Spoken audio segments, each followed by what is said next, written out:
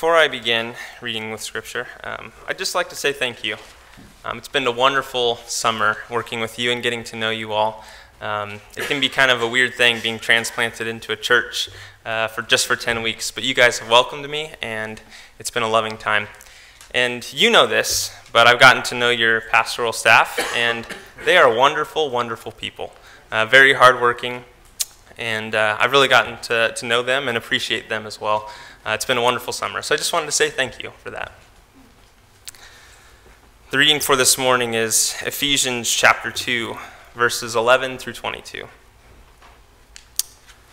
So then, remember that at one time you Gentiles by birth, called the uncircumcision, by those who are called the circumcision, a physical circumcision made in the flesh by human hands.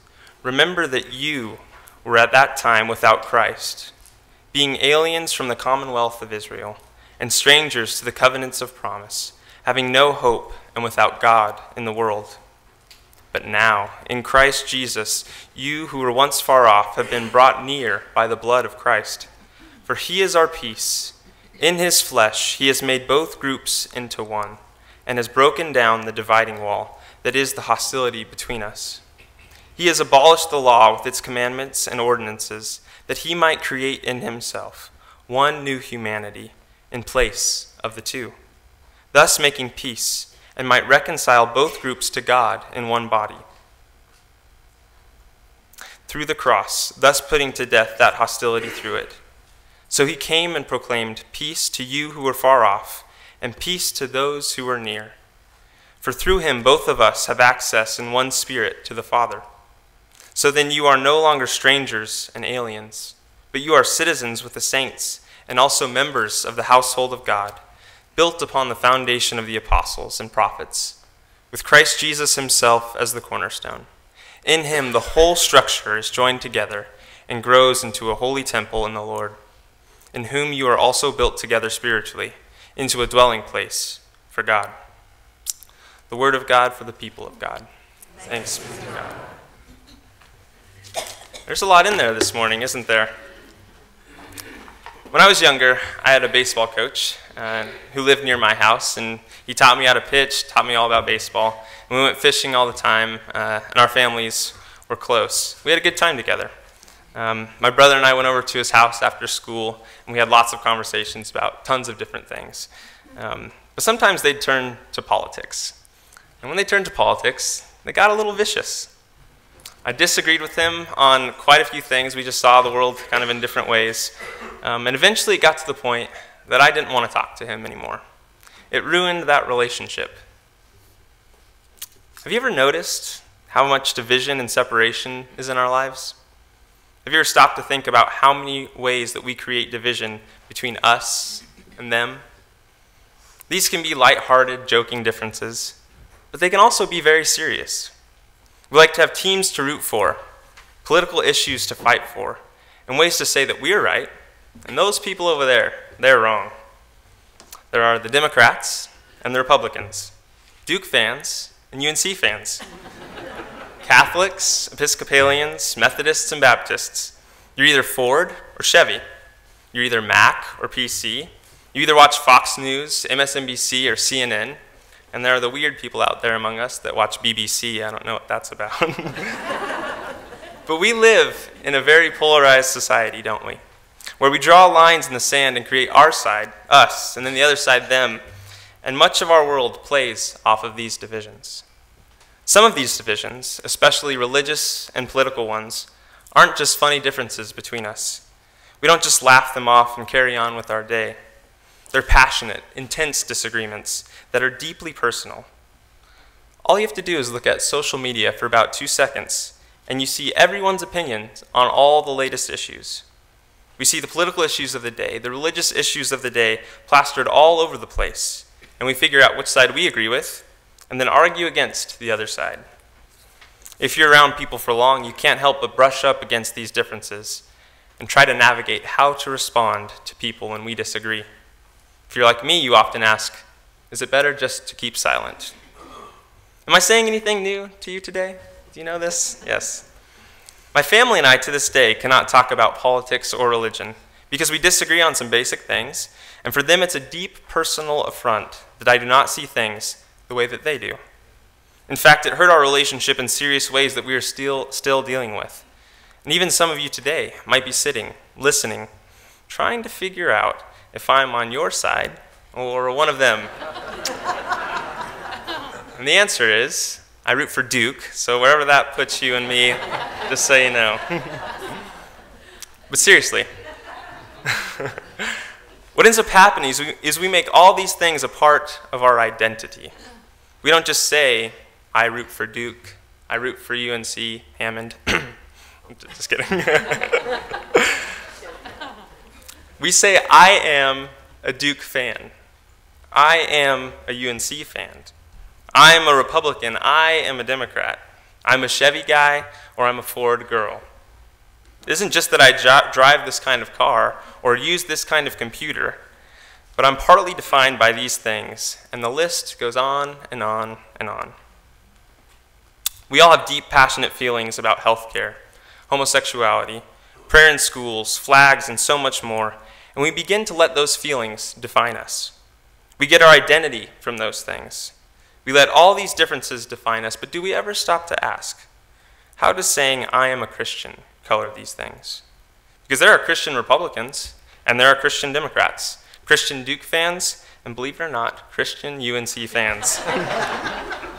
there are Christians on every side of every issue. So, what do we do about that?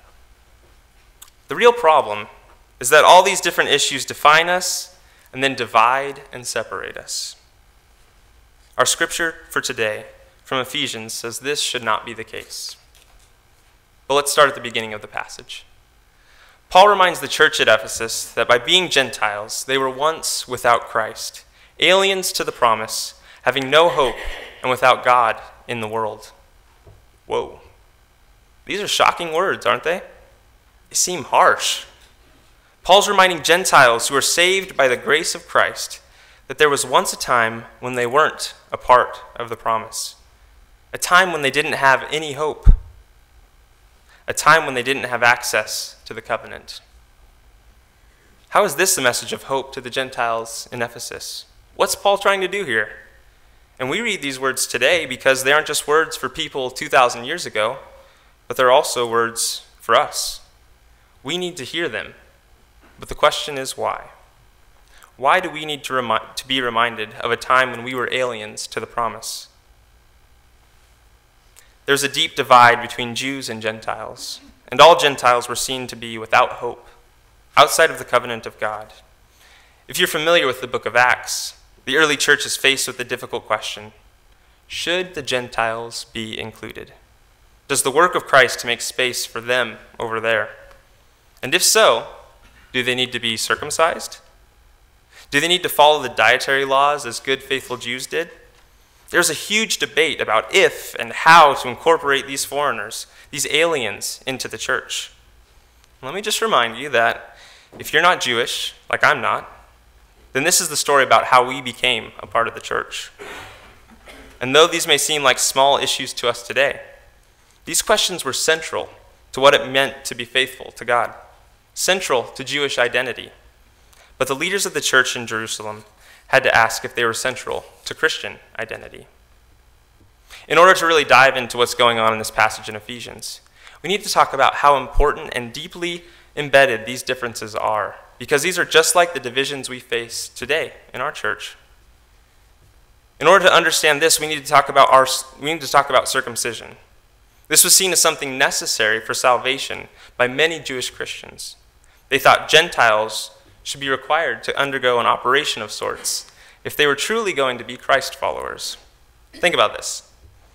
They were going to require adult converts to have this surgery 2,000 years ago, before anesthetics, before clean hospitals, if they wanted to be Christian. Isn't this crazy? This is, this is serious stuff. This is how serious it was because Scripture requires it. There are many places in the Old Testament where it says it's necessary. For instance, in Genesis chapter 17, God's talking to Abraham about the promise and says that circumcision is a sign of the covenant and required of all males in the household, even slaves. And then says in verse 14, Anyone who is not circumcised will be cut off from his people. He has broken my covenant. Seems simple enough. That should be their answer. Early Jewish Christians knew this passage along with others that require a physical circumcision. In fact, Jesus himself was circumcised.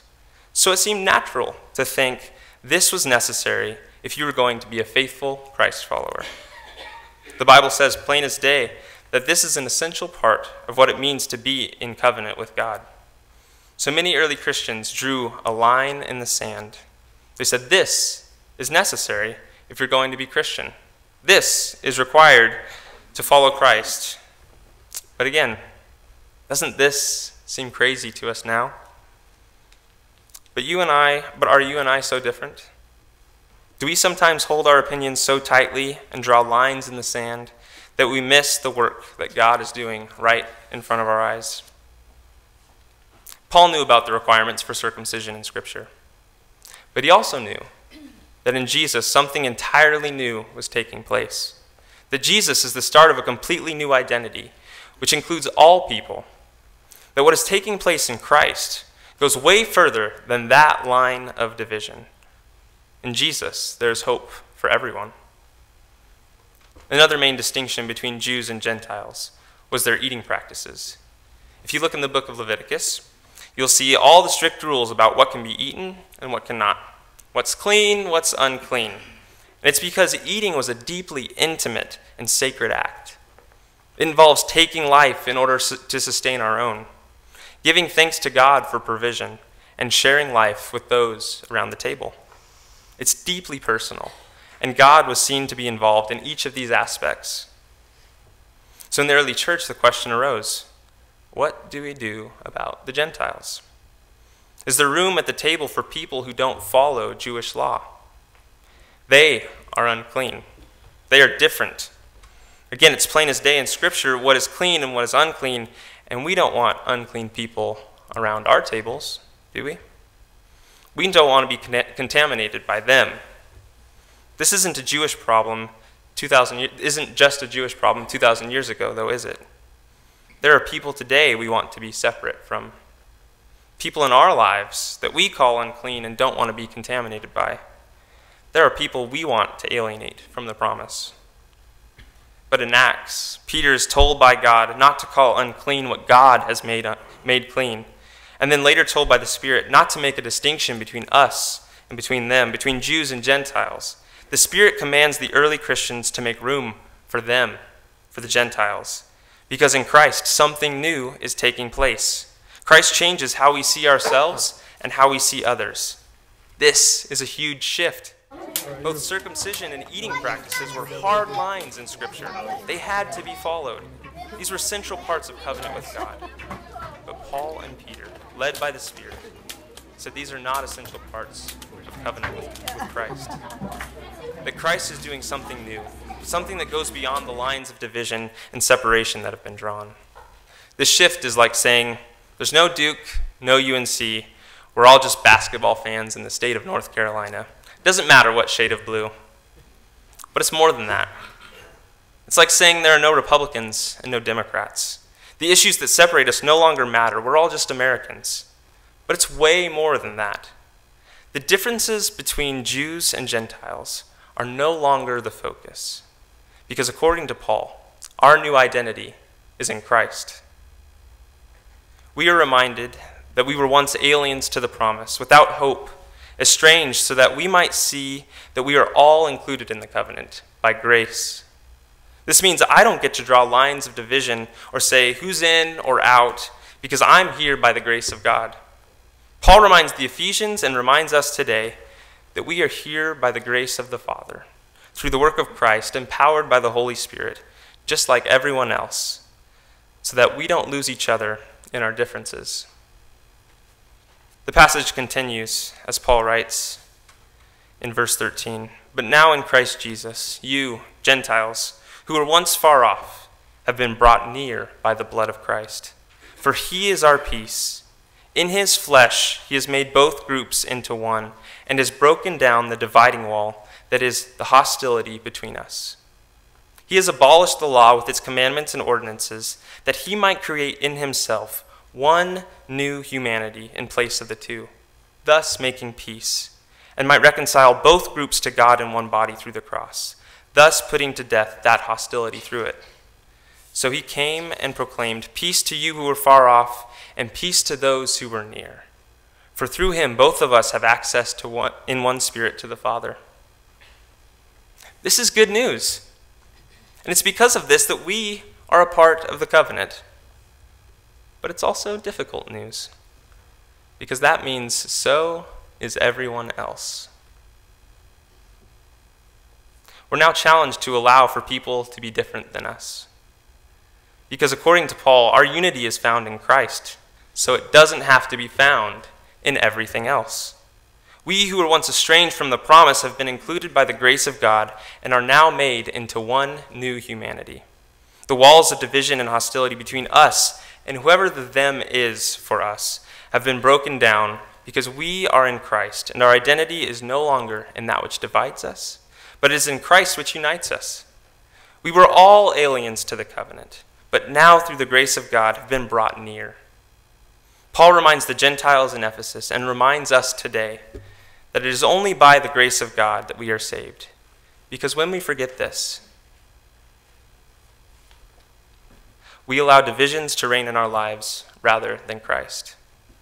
When we, forget, when we forget this heritage of once being estranged, we find it much easier to estrange others, don't we? When we forget that it's by grace that we are saved, we forget to offer grace to others. When we forget that our identity is in Christ, we let all these other divisions in our world define us. So Paul reminds the Christians in Ephesus and reminds us today that we have been brought into the promise through the work of Christ by grace and it is in him that we find our identity. There is no us and them. There is no one outside of the love of God. And we don't get to draw any lines of separation because we are only here by the grace and love of God, which has been poured out on all people. Paul's reminding us who are quick to receive grace, but slow to extend it, that Christ is beyond the lines we draw in the sand. But more than that, through Christ, we are made into one new humanity. But let me just say, it's not easy to live with people who are different than us. They challenge us. But it isn't just those people that challenge us. If you're married or a part of a family, you know that's the case there as well. Being in real relationship with people is hard. It's so much easier to have our positions and our issues that we can argue with until we're blue in the face. It's so difficult to be in real relationship with one another. But that's what we're called to do in the church because of what Christ has done. As Paul finishes chapter 2 in Ephesians, he writes So then you, know, you are no longer strangers and aliens, but you are citizens with the saints and also members of the household of God, built upon the foundation of the apostles and prophets, with Christ Jesus himself as the cornerstone in him, the whole structure is joined together and grows into a holy temple in the Lord. In him, you are also built together spiritually into a dwelling place for God. Mr. Rogers is credited with saying, Frankly, there isn't anyone you couldn't learn to love once you've heard their story. I want to repeat that. Frankly, there isn't anyone you couldn't learn to love once you've heard their story. It occurs to me that we operate from our that when we operate from our divisions, positions, issues, and arguments, we good about listening to other stories. In fact, this climate of division makes it difficult to hear much of anything at all. We become too busy trying to decide what's clean or unclean, or who can sit around our tables for fear of contamination, that we don't hear one another. We lose sight of one another, and our divisions become our distractions. And in all of this, we can miss what God is doing all around us. We need to listen to stories.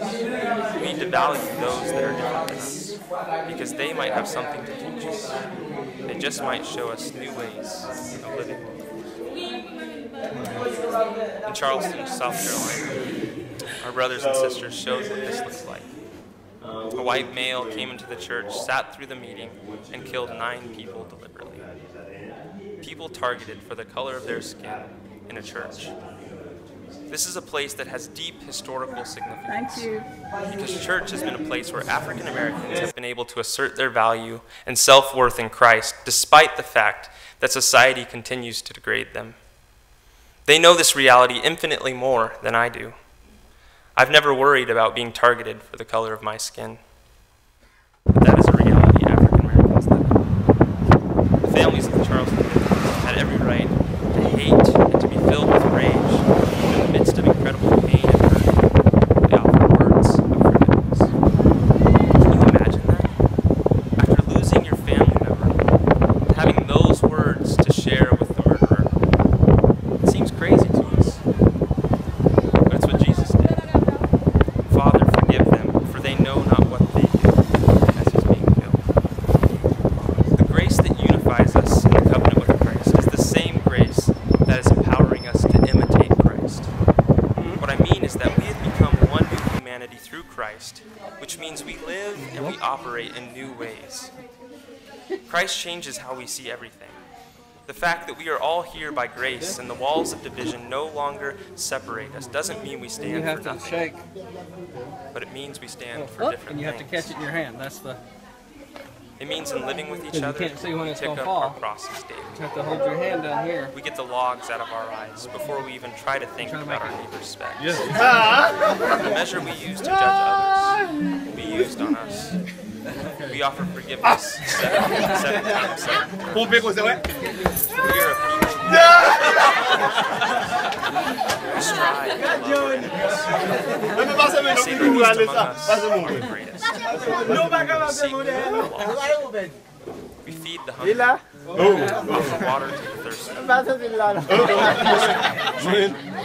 Ouais, mais, mettre ça, c'est- mettre ça. care for the sick. Yeah. We are here to bring good news to the poor, release to the captives, recovery of sight to the blind, and to proclaim the year of the Lord's favor. We're not just unified by grace, but we are empowered through Christ to live this way with one another. What if these were our platforms? What if these stances became our identity? Sure, I'll switch with you. This morning I'm here to tell you that we have been formed into one new humanity through the work of Christ. We are being called beyond all of our division to remember our heritage of once being estranged. We have been called to unity through grace so that we do not estrange others or let walls of division separate us. We have been called to proclaim the good news that we are all members of the household of God. We are called to be people of faith, redemption, forgiveness, hope, and love. We have been created as one new humanity, and that is what gives each of us our identity. What Paul is saying to us today is the identifier I am dot dot dot that matters is I am in Christ. That is what allows us to love one another within our differences. This allows us to see that all the other people in Christ are different than we are and not be afraid. Because in Christ, we still find our unity. This is what it means to be one new humanity created in Christ, and that changes everything.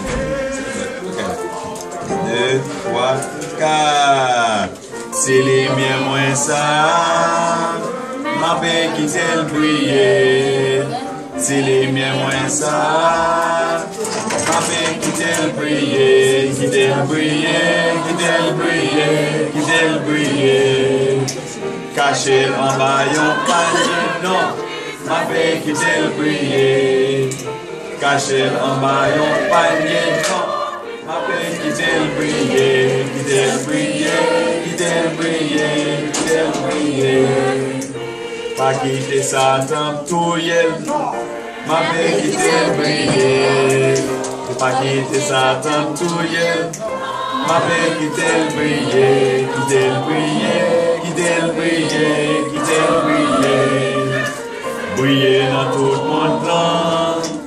Mave ki tel brye Brye nan tout moun plan. Mave ki tel brye Ki tel brye Ki tel brye Ki tel brye